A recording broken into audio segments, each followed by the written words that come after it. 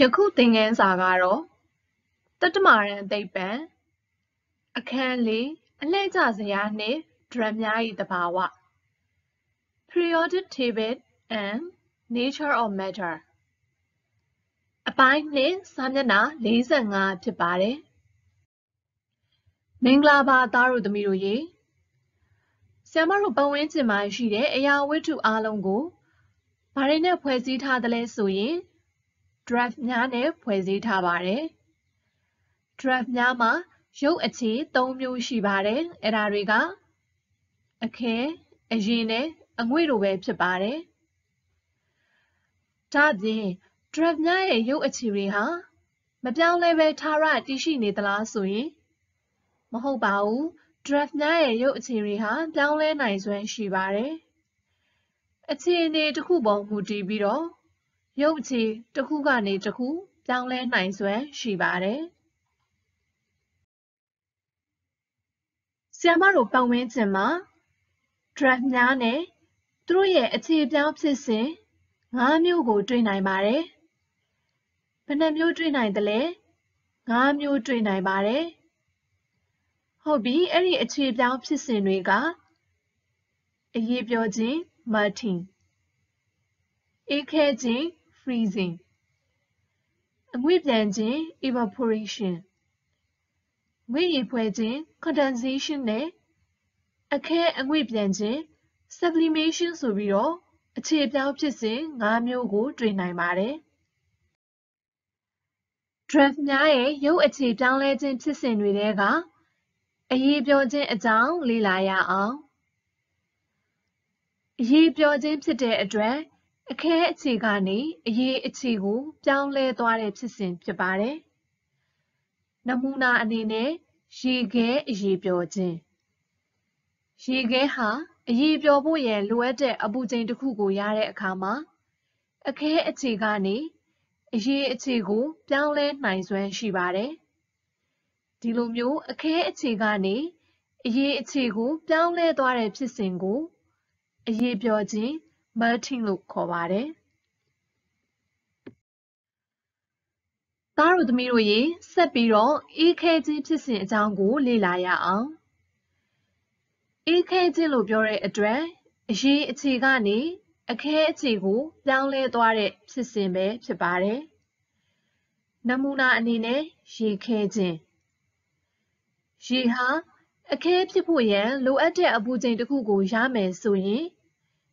အရည်အခြေကနေ အခဲအခြေကို ပြောင်းလဲနိုင်စွမ်း ရှိပါတယ်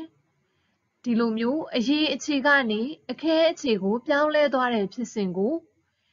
အေးခဲခြင်း freezing လို့ ခေါ်ပါတယ်။သားတို့သမီးတို့ရေ ဆက်ပြီးတော့ အငွေ့ပြန်ခြင်းအကြောင်း လေ့လာရအောင်။အငွေ့ပြန်ခြင်းဖြစ်တဲ့အတွက် အရည်အခြေကနေ အငွေ့အခြေကို ပြောင်းလဲသွားတဲ့ဖြစ်စဉ် ဖြစ်ပါတယ်။ နမူနာအနေနဲ့ရေငွေ့ပြန်ခြင်းရေဟာအငွေ့ပြန်ဖို့ရန်လိုအပ်တဲ့အပူချိန်တစ်ခုရမယ်ဆိုရင်အရေအခြေကနေအငွေ့အခြေကို ပြောင်းလဲနိုင်ပါတယ်။ဆရာမတို့ရေဆိုနေတဲ့အဝတ်စားတွေကို နေရောင်မှာထုတ်လှမ်းခြင်းဟာလည်းရေငွေ့ပြန်သွားတဲ့အတွက်အဝတ်အစားတွေခြောက်သွေ့သွားခြင်းဖြစ်ပါတယ်။ဒါအပြင်အငွေ့ပြန်ခြင်းဟာ မိုးရွာသွန်းခြင်းအတွက်အရေးပါတဲ့ဖြစ်စဉ်တစ်ခုလည်းဖြစ်ပါတယ်။သားတို့သမီးတို့ရေဆက်ပြီးတော့ရုပ်အခြေပြောင်းလဲခြင်းဖြစ်စဉ်တွေထဲကငွေရည်ဖွဲ့ခြင်းအကြောင်းလေ့လာကြမယ်။ငွေရည်ဖွဲ့ခြင်းဖြစ်တဲ့အတွက်အငွေ့အခြေကနေအရေးအခြေကိုပြောင်းလဲသွားတဲ့ဖြစ်စဉ်ဖြစ်ပါတယ်။ဆ iam မတို့ပတ်ဝန်းကျင်မှာရှိတဲ့လေထုထဲမှာဆိုရင် နေ့စဉ်ရှုသွင်းရှုထုတ်လုပ်နေတဲ့အောက်ဆီဂျင် ကာဗွန်ဒိုင်အောက်ဆိုဒ်နဲ့ နိုက်ထရိုဂျင်စတဲ့ဓာတ်ငွေ့တွေအပြင် ရေငွေ့တွေလည်းပါဝင်နေပါတယ်။လေထုဟာအပူချိန်မြင့်လေရေငွေ့ကိုသယ်ဆောင်ထားနိုင်တဲ့ပမာဏများလေဖြစ်ပါတယ်။ဒါပေမဲ့လေထုရဲ့အပူချိန်ကျဆင်းလာမယ်ဆိုရင် သူကသယ်ဆောင်ထားနိုင်တဲ့ပမာဏထက်ပိုနေတဲ့ရေငွေ့တွေကို ပြန်ပြီးထုတ်လုပ်ပေးရပါတယ်။ဒါကြောင့်ငွေ့ရည်ဖွဲ့ခြင်းဖြစ်စဉ်ဖြစ်ပေါ်လာပါတယ်။ နမူနာအနေနဲ့အေးခဲနေတဲ့ရေခဲဘူးတစ်ဘူးကိုကြည့်မယ်။ရေခဲဘူးပေါ်မှာရေသီးရေပေါက်ကလေးတွေတနည်းအားဖြင့်ချွေးပြန်နေတာကို တွေ့ရမှာဖြစ်ပါတယ်။ရေခဲဘူးဟာသူ့ရဲ့ပတ်ဝန်းကျင်မှာရှိတဲ့လေထုရဲ့အပူချိန်ကိုလျှော့ချလိုက်တာဖြစ်တဲ့အတွက်လေထုဟာသူသယ်ဆောင်ထားနိုင်တဲ့ပမာဏထက်ပိုနေတဲ့ရေငွေ့တွေကိုအရည်ဖြစ်ပြန်လည်ထုတ်လုပ်ပေးတာဖြစ်ပါတယ်။ ဒါကြောင့်ရေခဲဘူးပေါ်မှာရေပေါက်ကလေးတွေရေစက်ကလေးတွေကို တွေ့နေရတာဖြစ်ပါတယ်။နှင်းကြခြင်းဟာလည်းငွေ့ရည်ဖွဲ့ခြင်းဖြစ်စဉ်ပဲဖြစ်ပါတယ်။ဒါအပြင်ငွေ့ရည်ဖွဲ့ခြင်းဟာမိုးရွာသွန်းခြင်းအတွက်အရေးပါတဲ့ဖြစ်စဉ်တစ်ခုပဲဖြစ်ပါတယ်နော်။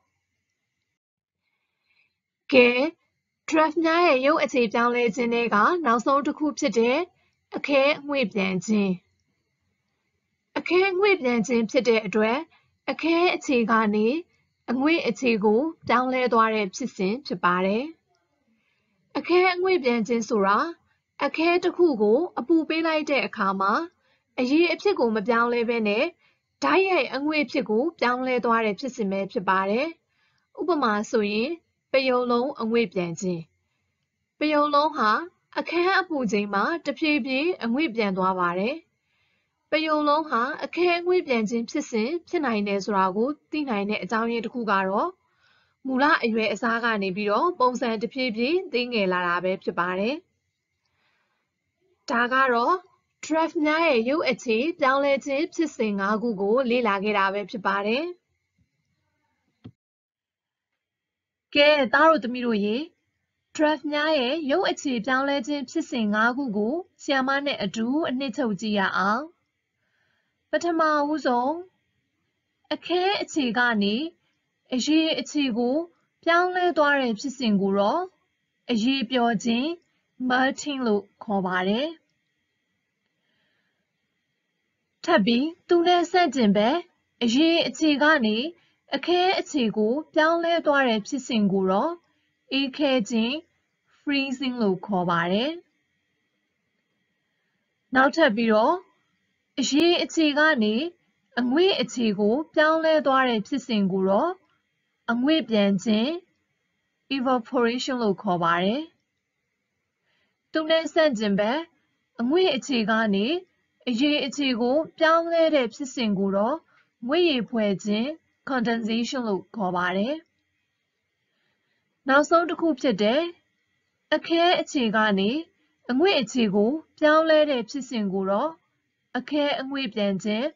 sublimation လို့ခေါ်ပါတယ်။ဒါဆိုရင်နောက်မှာ draft များရဲ့ရုပ်အခြေပြောင်းလဲခြင်းဖြစ်စဉ်၅ခုအကြောင်းကိုဗီဒီယိုလေးနဲ့လေ့လာရအောင်နော်။ Today we'll be learning about changes in the states of matter. Now you know there are three states of matter. There are solids, there are liquids, and there are gases. And you probably know that when a solid like ice turns into a liquid, we say that it's melting. And if a liquid like water turns back into a solid, we can say that it's freezing. But it turns out they're names for all of the other types of changes that can exist as well.